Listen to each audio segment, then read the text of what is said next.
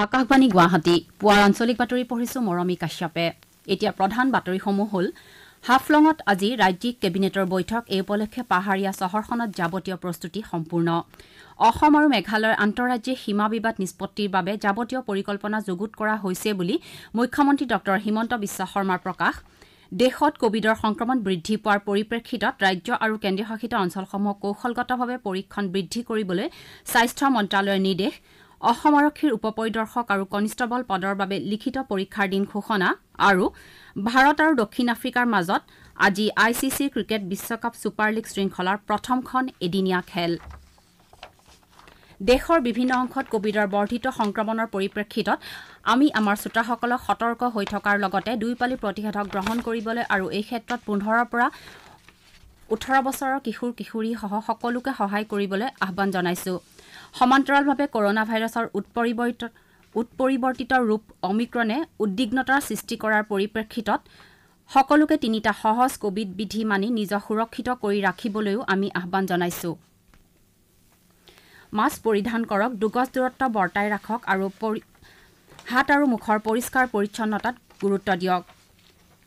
Covid সংক্ৰান্তীয় যিকোনো তথ্য আৰু পৰামৰ্শৰ বাবে আপোনালোকে ৰাষ্ট্ৰীয় হেল্পলাইন নম্বৰ শূন্য এক এক দুই তিনি ন সাত আঠ শূন্য চাৰি ছয় অথবা এক শূন্য সাত পাঁচ আৰু ৰাজ্যিক হেল্পলাইন নম্বৰ এক শূন্য ছয়ত ফোন কৰিব পাৰিব।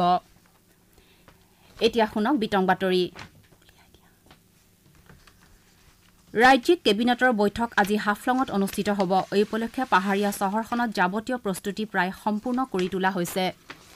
ইতিমধ্যে ৰাজ্যিক প্ৰশাসনৰ কেইবাগৰাকীও শীৰ্ষ বিষয়া বৈঠকৰ প্ৰস্তুতিৰ কাম কাজৰ তদাৰক কৰিবলৈ ডিমা হাছাও জিলাৰ সদৰ ঠাইখনত উপস্থিত হৈছে। মুখ্যমন্ত্ৰী ডঃ হিমন্ত বিশ্ব শৰ্মা আৰু তেওঁৰ মন্ত্ৰীসভাৰ সদস্যসকলে এই বৈঠকত কেইবাটাও গুৰুত্বপূৰ্ণ বিষয়ত আলোচনা কৰি সিদ্ধান্ত গ্ৰহণ কৰাৰ সম্ভাৱনা আছে। উল্লেখযোগ্য যে বৰ্তমানৰ ৰাজ্য চৰকাৰে শাসনভাৰ লোৱাৰ পাছতে দিছপুৰৰ বাহিৰত বিভিন্ন জিলা সদৰত নিয়মীয়াকৈ কেবিনেট বৈঠক আয়োজনৰ সিদ্ধান্ত গ্ৰহণ কৰিছিল। ইতিমধ্যে ধেমাজি আৰু বঙাইগাঁৱত এনে দুখন কেবিনেট বৈঠক অনুষ্ঠিত হৈ গৈছে। আজি হাফলঙত অনুষ্ঠিত হ'বলগীয়া কেবিনেট বৈঠকখন হ'ব এনেধৰণৰ তৃতীয়খন বৈঠক। কেবিনেট বৈঠকত মুখ্যমন্ত্ৰী আৰু তেওঁৰ মন্ত্ৰীসভাৰ আন সদস্যসকলৰ উপৰি মুখ্য সচিব আৰু কেইবাগৰাকীও সচিব আয়ুক্ত তথা শীৰ্ষস্থানীয় বিভাগীয় বিষয়া উপস্থিত থাকিব। উত্তৰ কাছাৰ পাৰ্বত্য স্বায়ত্তশাসিত পৰিষদ আৰু জিলা প্ৰশাসনে এই বৈঠকৰ আয়োজন কৰিছে। এই বৈঠকৰ পৰিপ্ৰেক্ষিতত পাৰ্বত্য চহৰখনত নিৰাপত্তা ব্যৱস্থা কটকটীয়া কৰি তোলা হৈছে। অসম আৰু মেঘালয়ৰ আন্তঃৰাজ্যিক সীমা বিবাদ মীমাংসাৰ উদ্দেশ্যে দুয়োখন ৰাজ্যৰ একোগৰাকীকৈ কেবিনেট মন্ত্ৰী আৰু স্থানীয় বিধায়কক সামৰি তিনিখন আঞ্চলিক সমিতি গঠন কৰা হৈছে। সমিতিসমূহৰ পৰামৰ্শ আৰু দুয়োখন ৰাজ্যৰ মুখ্যমন্ত্ৰী পৰ্যায়ৰ কেইবালানিও আলোচনাৰ ভিত্তিত ৰাজ্য দুখনৰ আন্তঃৰাজ্যিক সীমাৰ ছটা এলেকাৰ ব্যৱধানৰ চূড়ান্ত নিষ্পত্তি কৰাৰ বাবে যাৱতীয় পৰিকল্পনা যুগুত কৰা হৈছে। মুখ্যমন্ত্ৰী ডঃ হিমন্ত বিশ্ব শৰ্মাই কালি অসম মেঘালয় আন্তঃৰাজ্যিক বিবাদ সন্দৰ্ভত বিভিন্ন ৰাজনৈতিক দলৰ প্ৰতিনিধি আৰু ছাত্ৰ সংগঠনৰ সৈতে হোৱা মত বিনিময় অনুষ্ঠানত এই কথা সদৰি কৰে। পৃথকে পৃথকে অনুষ্ঠিত দুখন বৈঠকত মুখ্যমন্ত্ৰীয়ে দুয়োখন ৰাজ্যত সীমা বিবাদ নিষ্পত্তি কৰাৰ বাবে ৰাজ্য চৰকাৰে দুখন ৰাজ্য চৰকাৰ দুখনে গ্ৰহণ কৰা পদক্ষেপ সন্দৰ্ভত তেওঁলোকৰ মতামত বিচাৰে। এই বৈঠকত শাসকীয় দল বিজেপিৰ উপৰি C P I M AGP A I U D F B P F U P P L আৰু আছু আফচুকে ধৰি কেইবাটাও ছাত্ৰ সংগঠনৰ প্ৰতিনিধিয়ে অংশ লয়। বৈঠকত মুখ্যমন্ত্ৰীয়ে কয় যে অসম আৰু মেঘালয়ৰ মাজত থকা প্ৰায় পাঁচ দশক পুৰণি সীমা সমস্যা আলাপ আলোচনাৰ মাজেৰে স্থায়ী সমাধানৰ বাবে ৰাজ্য চৰকাৰে লক্ষ্য স্থিৰ কৰিছে। এই বৈঠকত শিক্ষামন্ত্ৰী ডাঃ ৰণোজ পেগু নগৰ পৰিক্ৰমা মন্ত্ৰী অশোক সিংঘাল কেইবাগৰাকীও বিধায়ক আৰু শীৰ্ষ বিষয়াসকল উপস্থিত থাকে। স্বাস্থ্য মন্ত্ৰালয়ে ৰাজ্য আৰু কেন্দ্ৰীয় শাসিত অঞ্চলসমূহক পৰীক্ষণ বৃদ্ধি কৰিবলৈ কৈছে যাতে কভিড নাইণ্টিন মহামাৰীৰ সংক্ৰমণৰ ওপৰত নজৰ ৰাখিব পাৰি আৰু ইয়াৰ সম্প্ৰসাৰণ ৰোধ কৰাৰ বাবে তাৎক্ষণিক ব্যৱস্থা গ্ৰহণ কৰিব পাৰি। স্বাস্থ্য মন্ত্ৰালয়ৰ অতিৰিক্ত সচিব আৰ টি আহুজাই ৰাজ্য আৰু কেন্দ্ৰীয় শাসিত অঞ্চলসমূহলৈ এখন পত্ৰযোগে কিছুমান এলেকাত কভিডৰ সংক্ৰমণ বৃদ্ধি পোৱালৈ চাই বিষয়টোত গুৰুত্ব প্ৰদান কৰিবলৈ আৰু কৌশলগতভাৱে পৰীক্ষণ বৃদ্ধি কৰিবলৈ কয়। তেওঁ কয় যে বিশ্ব স্বাস্থ্য সংস্থাই উদ্বেগজনক বুলি ঘোষণা কৰা কৰনা ভাইৰাছৰ উৎপৰিৱৰ্তিত ৰূপ অমিক্ৰণ সম্প্ৰতি সমগ্ৰ দেশতে বিয়পি পৰিছে। ভাৰতীয় চিকিৎসা গৱেষণা পৰিষদৰ পৰ্টেলত উপলব্ধ তথ্যৰ পৰা কেইবাখনো ৰাজ্য আৰু কেন্দ্ৰীয় শাসিত অঞ্চলত পৰীক্ষণ হ্ৰাস পোৱাৰ কথা পোহৰলৈ আহিছে বুলি তেওঁ প্ৰকাশ কৰে। শ্ৰীমতী আহুজাই ভাৰতীয় চিকিৎসা গৱেষণা পৰিষদে জাৰি কৰা সকলো পৰামৰ্শৱলীতে আছুতীয়াকৰণ আৰু পৰিচৰ্যা প্ৰদানৰ বাবে কভিড ৰোগীসকলক প্ৰাৰম্ভিক অৱস্থাতে চিনাক্তকৰণত গুৰুত্ব আৰোপ কৰা হৈছে বুলি সোঁৱৰাই দিয়ে। তেওঁ কয় যে কোনো মহামাৰী নিয়ন্ত্ৰণৰ ক্ষেত্ৰত পৰীক্ষণ এটা গুৰুত্বপূৰ্ণ কৌশল হিচাপে পৰিগণিত হৈ আহিছে। কাৰণ সংক্ৰমণৰ নতুন এলেকা বা কেন্দ্ৰ চিনাক্ত কৰাত ই সহায় কৰে। ইয়াৰ ফলত মহামাৰী নিয়ন্ত্ৰণৰ বাবে প্ৰয়োজনীয় ব্যৱস্থা কৰাটো সম্ভৱ হৈ উঠে। তেওঁ কয় যে পৰীক্ষণৰ জৰিয়তে ৰাজ্য আৰু জিলা প্ৰশাসনে সংক্ৰমণ নিয়ন্ত্ৰণ কৰিব পাৰে আৰু মহামাৰীৰ ফলত হোৱা মৃত্যু হ্ৰাস কৰিব পাৰে। অসমত চাৰি কোটিৰো অধিক পালি কভিড প্ৰতিষেধক প্ৰদান সম্পূৰ্ণ হোৱাৰ পৰিপ্ৰেক্ষিতত চৰকাৰে জনসাধাৰণক কৃতজ্ঞতা জ্ঞাপন কৰিছে। তথ্য অনুসৰি ৰাজ্যখনৰ কালিৰ দিনটোলৈকে চাৰি কোটি এক লাখ ছয়াশী হাজাৰৰো অধিক লোকে প্ৰতিষেধক গ্ৰহণ কৰিছে। ইয়াৰ ভিতৰত দুই কোটি ঊনত্ৰিছ লাখ চল্লিছ হাজাৰ দুশ এসত্তৰগৰাকীয়ে প্ৰথম পালি এক কোটি এসত্তৰ লাখ ছয়সত্তৰ হাজাৰ তিনিশ পঁয়ত্ৰিছগৰাকীয়ে দ্বিতীয় পালি আৰু ঊনসত্তৰ হাজাৰ ছশ দহগৰাকীয়ে সুৰক্ষাসূচক পালি গ্ৰহণ কৰিছে। স্বাস্থ্য বিভাগে এই উপলক্ষে জনসাধাৰণৰ লগতে প্ৰতিষেধক প্ৰদান প্ৰক্ৰিয়াৰ সৈতে জড়িত স্বাস্থ্য বিভাগৰ বিষয়া কৰ্মচাৰী আগশাৰী কৰ্মী আশা আৰু অংগনবাড়ী কৰ্মী তথা বুথ পৰ্যায়ৰ বিষয়াসকলক ধন্যবাদ জ্ঞাপন কৰিছে। এই প্ৰক্ৰিয়াৰ সৈতে জড়িত সকলো লোকৰ নিষ্ঠা আৰু প্ৰচেষ্টাৰ বাবে এই অভিযান সফলভাৱে ৰূপায়ণ কৰাটো সম্ভৱ হৈ উঠিছে বুলি স্বাস্থ্য বিভাগে প্ৰকাশ কৰে। বৰ্তমান ছয়ত্ৰিছ লাখ আঠচল্লিছ হাজাৰৰ লোকে কভিডৰ পৰা দ্বিতীয় পালি প্ৰতিষেধক গ্ৰহণ কৰিবলৈ বাকী থকাৰ পৰিপ্ৰেক্ষিতত ৰাজ্যৰ স্বাস্থ্য বিভাগে তেওঁলোকক আগবাঢ়ি আহি নিকটৱৰ্তী প্ৰতিষেধক প্ৰদান কেন্দ্ৰত প্ৰতিষেধক গ্ৰহণ কৰিবলৈ আহান জনাইছে। প্ৰতিষেধক নোলোৱা লোকসকলৰ মাজত আক্ৰান্তৰ হাৰ অধিক আৰু আনকো সংক্ৰমিত কৰাৰ আশংকাৰ বাবে প্ৰতিষেধকৰ প্ৰমাণ পত্ৰ অবিহনে কোনো ব্যক্তিকে চিকিৎসালয়ৰ বাহিৰে আন কোনো ৰাজহুৱা স্থানত প্ৰৱেশ কৰিবলৈ অনুমতি দিয়া নহ'ব বুলি স্বাস্থ্য বিভাগে জানিবলৈ দিছে। ব্যৱসায়িক প্ৰতিষ্ঠানবোৰে এই নিয়ম উলংঘা কৰিলে বৃহৎ জৰিমনা বিহাৰো নিৰ্দেশ দিয়া হৈছে। কালি মুখ্যমন্ত্ৰী হিমন্ত বিশ্ব শৰ্মাই ৰাজ্যত প্ৰতিষেধক প্ৰদানৰ সমগ্ৰ প্ৰক্ৰিয়াটোৰ বুজ ল'বৰ বাবে স্বাস্থ্য বিভাগৰ বিষয়াসকলৰ সৈতে এখন পৰ্যালোচনা বৈঠকত মিলিত হয়। এই বৈঠকত পোন্ধৰৰ পৰা ওঠৰ বছৰ বয়সৰ কিশোৰ কিশোৰীক প্ৰতিষেধক প্ৰদান কৰাৰ বিষয়ে বিতং আলোচনা কৰা হয়। মুখ্যমন্ত্ৰী স্বাস্থ্য বিভাগৰ শীৰ্ষ বিষয়াসকলক স্বাস্থ্য আন্তঃগাঁথনিমূলক প্ৰকল্পসমূহ ক্ষীপ্ৰতাৰে সম্পন্ন কৰিবলৈ নিৰ্দেশ দিয়ে। শ্ৰোতাসকলে বাতৰি শুনিছে আকাশবাণী গুৱাহাটী কেন্দ্ৰৰ পৰা। আপোনালোকে এই বাতৰি আমাৰ YouTube channel A I R news Guwahati আৰু news on A I R app যোগেও শুনিব পাৰিব। অসম আৰক্ষীৰ উপ পৰিদৰ্শক আৰু কনিষ্টবল পদৰ লিখিত পৰীক্ষা ঘোষণা কৰা হৈছে। অহা বিছ ফেব্ৰুৱাৰীত বিভিন্ন শাখাৰ কনিষ্টবল পদৰ পৰীক্ষাসমূহ অনুষ্ঠিত হোৱাৰ বিপৰীতে অহা সাতাইছ ফেব্ৰুৱাৰীত অসম ঔদ্যোগিক সুৰক্ষা বাহিনী বেটেলিয়নৰ কনিষ্টবলৰ বিশেষ পৰীক্ষা অনুষ্ঠিত হ'ব। আনহাতে উপ পৰিদৰ্শক আৰু আন কনিষ্টবল পদৰ লিখিত পৰীক্ষাসমূহ অহা চৌব্বিছ এপ্ৰিলত অনুষ্ঠিত হ'ব। এই পদসমূহৰ বাবে সংযুক্ত লিখিত পৰীক্ষা অনুষ্ঠিত কৰাৰ দায়িত্ব ছেবাক অৰ্পণ কৰা হৈছে যদিও জিলা পৰ্যায়ত সুচলভাৱে পৰীক্ষাসমূহ পৰিচালনা কৰাৰ বাবে নিৰীক্ষণ কমিটি গঠন কৰা হ'ব। বৰপেটা জিলাৰ সৰুক্ষেত্ৰী সমষ্টিৰ অন্তৰ্গত পাকা বেতবাৰী গাঁৱৰ এজন যুৱকে উন্নত পদ্ধতিৰে মাছ পালন কৰি যথেষ্ট লাভৱান হোৱা পৰিলক্ষিত হৈছে। উচ্চ শিক্ষিত যুৱকজনে বৃহৎ আকাৰৰ টেংকিত বায়'ফ্লক পদ্ধতিৰে বিগত পাঁচ বছৰ ধৰি বিভিন্ন জাতৰ মাছ উৎপাদন কৰি যথেষ্ট লাভৱান হৈছে।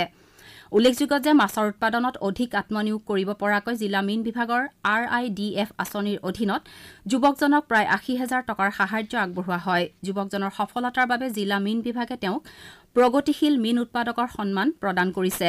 ইফালে কামৰূপ জিলাৰ ৰঙিয়াৰ এগৰাকী মহিলাই জাপি উৎপাদনেৰে স্বাৱলম্বী হোৱা পৰিলক্ষিত হৈছে। মহিলাগৰাকীয়ে প্ৰস্তুত কৰা জাপি অসমৰ বিভিন্ন ঠাইলৈ পঠোৱাৰ ব্যৱস্থা কৰাৰ লগতে তেওঁ কেইবাগৰাকীও মহিলাক জাপি বনোৱাৰ প্ৰশিক্ষণো প্ৰদান কৰিছে। ৰাজ্যত কভিডৰ সংক্ৰমণৰ হাৰ বাৰ দশমিক ছয় দুই শতাংশলৈ বৃদ্ধি পাইছে। ৰাজ্যত কালি তেষষ্ঠি হাজাৰ নশ চৌৰাল্লিছটা নমুনা পৰীক্ষাৰ অন্তত আঠ হাজাৰ বাসত্তৰজন লোকৰ দেহত কৰনা ভাইৰাছৰ সংক্ৰমণ ধৰা পৰিছে। ইয়াৰে এহেজাৰ নশ ছয়ানব্বৈজন কামৰূপ মহানগৰ জিলাৰ। ইয়াৰ বিপৰীতে এই সময়ছোৱাত দুহেজাৰ চাৰিশ চৌৰাল্লিছজন লোকে কভিডৰ পৰা আৰোগ্য লাভ কৰিছে। ইয়াকে লৈ ৰাজ্যখনত এই পৰ্যন্ত সুস্থ হৈ উঠা লোকৰ সংখ্যাই ছয় লাখ চৌব্বিছ হাজাৰ অতিক্ৰম কৰিছে। সেই অনুসাৰে ৰাজ্যখনত কভিডৰ পৰা আৰোগ্যৰ হাৰ চৌৰানব্বৈ দশমিক তিনি ন শতাংশ হৈছে। ৰাজ্যখনত সম্প্ৰতি ঊনত্ৰিছ হাজাৰ পাঁচশ ষাঠিজন চিকিৎসাধীন কভিড ৰোগী আছে। পৰীক্ষা পে চৰ্চা কাৰ্যসূচীৰ পঞ্চম সংস্কৰণ অহা ফেব্ৰুৱাৰীত অনুষ্ঠিত হ'ব। যোৱা বছৰ আঠাইছ ফেব্ৰুৱাৰীৰ পৰা অহা বিছ জানুৱাৰী পৰ্যন্ত মাই গভ পৰ্টেলৰ জৰিয়তে পৰীক্ষা পে চৰ্চা প্ৰতিযোগিতা আৰম্ভ কৰা হৈছে। এই প্ৰতিযোগিতাৰ বিজয়ীসকলক পৰীক্ষা পে চৰ্চা কাৰ্যসূচীত অংশগ্ৰহণ কৰাৰ বাবে ব্যক্তিগতভাৱে আমন্ত্ৰণ জনোৱাৰ সম্ভাৱনা আছে। তেওঁলোকে প্ৰধানমন্ত্ৰী নৰেন্দ্ৰ মোদীৰ সৈতে মত বিনিময়ৰো সুযোগ লাভ কৰিব পাৰে। শিক্ষক শিক্ষয়িত্ৰীসকলেও এই প্ৰতিযোগিতাত অংশগ্ৰহণ কৰিব পাৰে। আকাশবাণী দিল্লী কেন্দ্ৰৰ প্ৰাক্তন অসমীয়া বাতৰি পৰিৱেশক নিৰু বৰুৱাৰ আজি পুৱা নতুন দিল্লীত মৃত্যু হয়। তেওঁ সত্তৰৰ পৰা নব্বৈ দশকলে অসমীয়া বাতৰি পৰিৱেশক হিচাপে প্ৰসিদ্ধি লাভ কৰিছিল।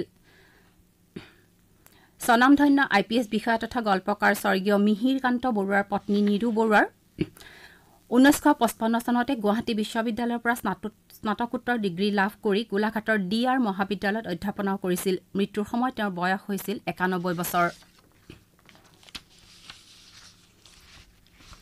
ভাৰত আৰু দক্ষিণ আফ্ৰিকাৰ মাজত আজি পাৰ্লৰ বলেণ্ড পাৰ্ক ষ্টেডিয়ামত আই চি চি ক্ৰিকেট বিশ্বকাপ ছুপাৰ লীগ শৃংখলাৰ প্ৰথমখন এদিনীয়া খেল অনুষ্ঠিত হ'ব। খেলখন ভাৰতীয় সময় অনুসৰি দিনৰ দুই বজাত আৰম্ভ হ'ব। ভাৰতীয় ক্ৰিকেটৰ ইতিহাসত প্ৰথমবাৰৰ বাবে কে এল ৰাহুলক তিনিখনীয়া শৃংখলাটোৰ আটাইকেইখন খেলৰ বাবে অধিনায়কৰ দায়িত্ব অৰ্পণ কৰা হৈছে। দক্ষিণ আফ্ৰিকাই সদ্য সমাপ্ত টেষ্ট শৃংখলাত ভাৰতক দুই এক ফলাফলত পৰাস্ত কৰিছে। কামৰূপ জিলাৰ তুলসীবাৰীৰ ভাৰত ভূটান পথত যোৱা নিশা সংঘটিত পথ দুৰ্ঘটনাত এজন লোক নিহত হোৱাৰ লগতে আন দুজন লোক আহত হয়। নিহত লোকজন স্থানীয় সমাজকৰ্মী কাৰ্তিক দেৱনাথ বুলি চিনাক্ত কৰা হৈছে। আহত দুজনক গুৱাহাটী চিকিৎসা মহাবিদ্যালয়ত ভৰ্তি কৰোৱা হৈছে।